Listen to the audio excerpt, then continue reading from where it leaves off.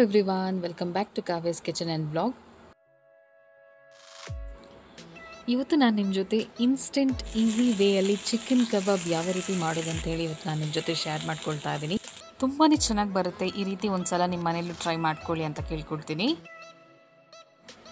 ಮೊದಲಿಗೆ ನಾನಿಲ್ಲೊಂದು ಬೌಲನ್ನು ತಗೊಂಡಿದ್ದೀನಿ ಅದರಲ್ಲಿ ಒಂದು ಅರ್ಧ ಕೆ ಜಿಯಷ್ಟು ನಾನಿಲ್ಲಿ ಬೋನ್ಲೆಸ್ ಚಿಕನನ್ನು ಯೂಸ್ ಮಾಡ್ಕೊಂಡಿದ್ದೀನಿ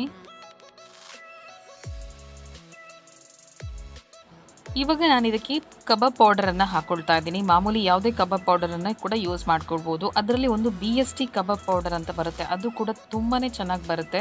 ಸೊ ಸಿಕ್ಕಿದರೆ ಅದನ್ನು ಯೂಸ್ ಮಾಡ್ಕೊಳ್ಳಿ. ತುಂಬಾ ಚೆನ್ನಾಗಿರುತ್ತೆ ಆ ಒಂದು ಪೌಡರ್ ಸೊ ನಾನಿಲ್ಲಿ ಕಬಾಬ್ ಪೌಡರ್ ಎಷ್ಟು ಬೇಕು ಅಷ್ಟನ್ನು ಯೂಸ್ ಮಾಡ್ಕೊಂಡಿದ್ದೀನಿ. ಹಾಗೆ ಖಾರ. ಖಾರದ ಹುಡಿ ನಿಮಗೆ ಎಷ್ಟು ಬೇಕು ಅಷ್ಟು ಖಾರದ ಹುಡಿನ ಯೂಸ್ ಮಾಡ್ಕೊಳ್ಳಿ.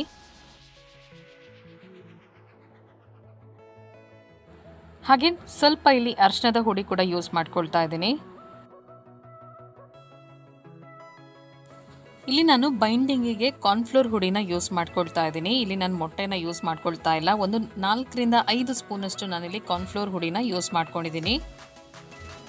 ಹಾಗೆ ಕಟ್ ಮಾಡ್ಕೊಂಡಿರುವಂಥ ಕರ್ಬೇವು ಸೊಪ್ಪು. ಸೊ ನೀವು ನಿಮ್ಮ ಮನೇಲಿ ಕರ್ಬೇವು ಸೊಪ್ಪಿದ್ರೆ ಇದನ್ನು ಖಂಡಿತವಾಗ್ಲೂ ಆ್ಯಡ್ ಮಾಡ್ಕೊಳ್ಳಿ. ತುಂಬಾ ಯಮ್ಮಿ ಟೇಸ್ಟ್ ಕೊಡುತ್ತೆ. ಸೊ ಈ ಕರ್ಬೇವು ಸೊಪ್ಪು ಹಾಕಿದ್ರೇ ನಿಮಗೊಂದು ಡಿಫ್ರೆಂಟ್ ಫ್ಲೇವರ್ ಕೊಡುತ್ತೆ ಅಂತಲೇ ಹೇಳ್ಬೋದು. ಹಾಗೆ ಸ್ವಲ್ಪ ಶುಂಠಿ ಬೆಳ್ಳುಳ್ಳಿ ಪೇಸ್ಟ್ ಹಾಗೂ ರುಚಿಗೆ ತಕ್ಕಷ್ಟು ಉಪ್ಪನ್ನು ಕೂಡ ಇಲ್ಲಿ ಹಾಕ್ಕೊಂಡಿದ್ದೀನಿ ಉಪ್ಪು ಹಾಕೊಳ್ಳುವಾಗ ನೀವು ರುಚಿಗೆ ಎಷ್ಟು ಬೇಕೋ ಅಷ್ಟು ಉಪ್ಪನ್ನು ನೋಡ್ಕೊಂಡು ಹಾಕೊಳ್ಳಿ. ಕಬಾಬ್ ಹುಡಿಯಲ್ಲಿ ಆಲ್ರೆಡಿ ಉಪ್ಪಿರುತ್ತೆ. ಇವಾಗ ಸ್ವಲ್ಪ ನಾನು ಲಿಂಬೆ ಹಣ್ಣಿನ ರಸನ ಹಾಕೊಳ್ತಾ ಇದ್ದೀನಿ. ಇದನ್ನು ಇವಾಗ ನೀವು ಸ್ವಲ್ಪ ನೀರು ಹಾಕ್ಕೊಂಡು ಚೆನ್ನಾಗಿ ಮಿಕ್ಸ್ ಮಾಡ್ಕೊಳ್ಬೇಕು. ತುಂಬ ಗಟ್ಟಿಯಾಗಿ ಮಿಕ್ಸ್ ಮಾಡ್ಕೊಳ್ಬೇಡಿ. ಹಾಗೆ ತುಂಬ ತೆಳುವಾಗಿ ಕೂಡ ಮಿಕ್ಸ್ ಮಾಡ್ಕೊಳ್ಬೇಡಿ. ಸ್ವಲ್ಪ ಸ್ವಲ್ಪ ನೀರು ಹಾಕ್ಕೊಂಡು ಮಿಕ್ಸ್ ಮಾಡ್ಕೊಳ್ಳಿ. ಇಲ್ಲಿ ಮೊಟ್ಟೆನ ಯೂಸ್ ಮಾಡ್ಕೊಳ್ಬೇಡಿ. ಸೊ ಇದು ಕಾರ್ನ್ಫ್ಲೋರ್ ಹಿಟ್ಟಲ್ಲೇ ನೀವು ಚೆನ್ನಾಗಿ ಇದನ್ನು ಮಿಕ್ಸ್ ಮಾಡ್ಕೊಳ್ಬೇಕು. ಯಾರೆಲ್ಲ ನನ್ನ ಚಾನಲನ್ನು ಹೊಸದಾಗಿ ನೋಡ್ತಾ ಇದ್ದೀರಾ, ನಿಮಗೆ ನನ್ನ ರೆಸಿಪಿ ಚಾನಲ್ ಇಷ್ಟವಾದಲ್ಲಿ ಪ್ಲೀಸ್ ಒಂದು ಸಬ್ಸ್ಕ್ರೈಬ್ ಮಾಡಿ, ಹಾಗೆ ಮರಿದೇನೆ ಬೆಲ್ ಐಕನ್ನ ಕ್ಲಿಕ್ ಮಾಡಿ ಅಂತ ಕೇಳ್ಕೊಳ್ತೀನಿ. ಸೊ ಇಲ್ಲಿ ನೋಡಿದ್ರಲ್ವಾ, ನಾನೆಲ್ಲ ಚೆನ್ನಾಗಿ ಮಿಕ್ಸ್ ಮಾಡ್ಕೊಂಡಿದ್ದೀನಿ, ಹಾಗೆ ಚಿಕನಿಗೆಲ್ಲ ಚೆನ್ನಾಗಿ ಇಲ್ಲಿ ಕೋಟಿಂಗ್ ಬಂದಿದೆ. ಇದನ್ನು ನೀವೊಂದು ಅರ್ಧ ಗಂಟೆ ಫ್ರಿಜ್ಜಲ್ಲಿ ಇಟ್ಕೊಳ್ಳಿ, ಯಾಕಂತ ಹೇಳಿದರೆ ಎಲ್ಲನೂ ಚೆನ್ನಾಗಿ ಸೆಟ್ ಆಗುತ್ತೆ, ಉಪ್ಪು, ಖಾರ, ಹುಳಿ ಎಲ್ಲ ಚೆನ್ನಾಗಿ ಎಳ್ಕೊಳ್ಳುತ್ತೆ. ಸೊ ನೋಡ್ತಾ ಇರ್ಬೋದು, ಒಂದು ಹದಿನೈದು ನಿಮಿಷದ ನಂತರ ನಾನು ಈ ಕಬಾಬನ್ನು ತೆಗೆದಿದ್ದೀನಿ ಫ್ರಿಜ್ಜಿಂದ. ನೋಡ್ತಾ ಇರ್ಬೋದು, ಎಷ್ಟು ಚೆನ್ನಾಗಿ ಇಲ್ಲಿ ಸೆಟ್ ಆಗಿದೆ ಅಂತ ಹೇಳಿ.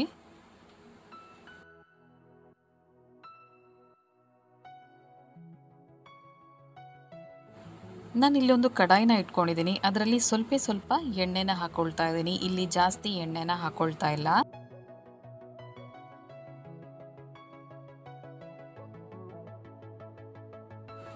ಎಣ್ಣೆ ಇಲ್ಲಿ ಚೆನ್ನಾಗಿ ಬಿಸಿ ಆದ ನಂತರ ಒಂದೊಂದೇ ಚಿಕನ್ ಪೀಸನ್ನು ಹಾಕ್ಕೊಳ್ತಾ ಹೋಗಿ. ಸೊ ಇಲ್ಲಿ ಎಣ್ಣೆ ಚೆನ್ನಾಗಿ ಕಾಯಬೇಕು.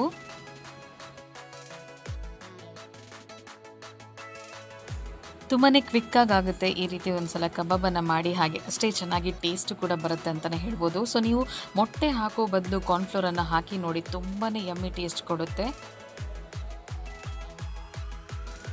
ಹಾಗೆ ಇದಕ್ಕೆ ನೀವು ಕಾಯಿ ಮೆಣಸು ಅಥವಾ ಕೊತ್ತಂಬರಿ ಸೊಪ್ಪನ್ನು ಕೂಡ ಕಟ್ ಮಾಡಿಕೊಂಡು ಹಾಕ್ಕೊಳ್ಬೋದು ಅದು ಕೂಡ ಅಲ್ಲಲ್ಲಿ ಸಿಗುವಾಗ ತುಂಬಾ ಚೆನ್ನಾಗಿ ಒಂದು ಟೇಸ್ಟ್ ಕೊಡುತ್ತೆ ಅಂತಲೇ ಹೇಳ್ಬೋದು. ಬಟ್ ನೀವು ಮರಿದೇನೆ ಕರಿಬೇವು ಸೊಪ್ಪನ್ನು ಸಣ್ಣ ಸಣ್ಣದಾಗಿ ಕಟ್ ಮಾಡ್ಕೊಂಡು ಹಾಕ್ಕೊಳ್ಳಿ ಆವಾಗ ನಿಜವಾಗ್ಲೂ ಒಂಥರ ಡಿಫ್ರೆಂಟ್ ಫ್ಲೇವರ್ ಕೊಡುತ್ತೆ. ಸೊ ಇದನ್ನು ಇವಾಗ ನೀವು ಮೊದಲಿಗೆ ಮೀಡಿಯಂ ಫ್ಲೇಮಲ್ಲಿ ಇಟ್ಕೊಂಡು ಫ್ರೈ ಮಾಡ್ಕೊಳ್ಳಿ. ಎರಡು ಸೈಡಲ್ಲೂ ಚೆನ್ನಾಗಿ ಫ್ರೈ ಮಾಡ್ಕೊಳ್ಳಿ ಸೊ ನಾನು ನಿಮಗೆ ನೆಕ್ಸ್ಟ್ ರೆಸಿಪಿಯಲ್ಲಿ ಚಿಕನ್ ಕಬಾಬನ್ನು ಎಣ್ಣೆ ಇಲ್ಲದೇ ತುಂಬಾ ಹೆಲ್ದಿಯಾಗಿ ಯಾವ ರೀತಿ ಫ್ರೈ ಮಾಡ್ಕೊಳ್ಬೋದು ಅಂತಲೂ ಶೇರ್ ಮಾಡ್ಕೊಳ್ತೀನಿ. ಅದು ಮಾತ್ರ ತುಂಬಾ ಚೆನ್ನಾಗಿ ಬರುತ್ತೆ. ಒಂದು ಸಲ ಆ ರೀತಿ ಕೂಡ ನೀವು ಮಾಡ್ಕೊಳ್ಳಿ. ನಾನು ನೆಕ್ಸ್ಟ್ ರೆಸಿಪಿಯಲ್ಲಿ ಅದು ಯಾವ ರೀತಿ ಮಾಡೋದು ಅಂತ ಹೇಳಿ ಕೂಡ ಶೇರ್ ಮಾಡ್ಕೊಳ್ತೀನಿ. ಇವಾಗ ನಾನಿಲ್ಲಿ ಎರಡು ಬದಿ ಕೂಡ ಚೆನ್ನಾಗಿ ಟರ್ನ್ ಮಾಡಿ ಕಾಯಿಸ್ಕೊಳ್ತಾ ಇದ್ದೀನಿ. ಸೊ ನೀವು ನನ್ನ ಚಾನಲಿಗೆ ಸಬ್ಸ್ಕ್ರೈಬ್ ಆದರೆ ನಾನು ಹಾಕುವಂಥ ರೆಸಿಪಿ ಹಾಗೂ ವ್ಲಾಗ್ಸ್ನ ಅಪ್ಡೇಟ್ಸ್ ಕೂಡ ಸಿಗುತ್ತೆ. ಹಾಗೆ ನೀವು ನನ್ನ ಚಾನಲ್ನ ಬೆಲ್ ಐಕನ್ನ ಕ್ಲಿಕ್ ಮಾಡಿದರೆ ನೋಟಿಫಿಕೇಷನ್ ಕೂಡ ಸಿಗುತ್ತೆ. ಸೊ ನಿಮಗೆ ನನ್ನ ರೆಸಿಪಿ ಚಾನಲ್ ಇಷ್ಟವಾದಲ್ಲಿ ನೀವು ನನ್ನ ಚಾನಲ್ಗೆ ಸಬ್ಸ್ಕ್ರೈಬ್ ಮಾಡಿ, ಹಾಗೆ ಮರಿದನೆ ಬೆಲ್ ಐಕನ್ನ ಕ್ಲಿಕ್ ಮಾಡಿ. ಇಲ್ಲಿ ನೀವು ನೋಡ್ತಾ ಇರ್ಬೋದು, ಎರಡು ಬದಿ ಕೂಡ ಕಬಾಬ್ ಚೆನ್ನಾಗಿ ಫ್ರೈ ಆಗಿದೆ.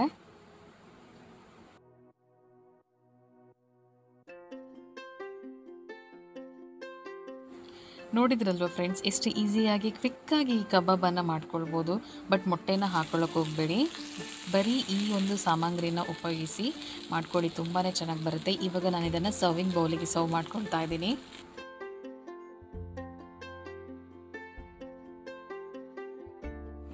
ನಿಮಗೆ ನನ್ನ ರೆಸಿಪಿ ಚಾನಲ್ ಇಷ್ಟವಾದಲ್ಲಿ ಪ್ಲೀಸ್ ನನ್ನ ಚಾನಲಿಗೆ ಒಂದು ಸಬ್ಸ್ಕ್ರೈಬ್ ಮಾಡಿ, ಹಾಗೆ ಮರಿದೇನೆ ಬೆಲ್ ಐಕನ್ನ ಕ್ಲಿಕ್ ಮಾಡಿ ಅಂತ ಕೇಳ್ಕೊಳ್ತೀನಿ. ನೋಡ್ತಾ ಇರ್ಬೋದು, ಎಷ್ಟು ಯಮ್ಮಿಯಾಗಿ ಡಿಲಿಷಿಯಸ್ ಆಗಿ ಇದು ರೆಡಿಯಾಗಿದೆ. ಹಾಗೆ ಅಷ್ಟೇ ಚೆನ್ನಾಗಿ ಟೇಸ್ಟು ಕೂಡ ಇದೆ. ಒಂದು ಸಲ ನಿಮ್ಮ ಮನೆಯಲ್ಲೂ ಈ ರೀತಿ ಕಬಾಬನ್ನು ಟ್ರೈ ಮಾಡ್ಕೊಳ್ಳಿ ಅಂತ ಕೇಳ್ಕೊಳ್ತೀನಿ. ನಾಳೆ ಇನ್ನೊಂದು ಹೊಸ ರೆಸಿಪಿ ನಿಮ್ಮ ಜೊತೆ ಶೇರ್ ಮಾಡ್ಕೊಳ್ತೀನಿ. ಅಲ್ಲಿವರೆಗೂ take care bye bye thank you friends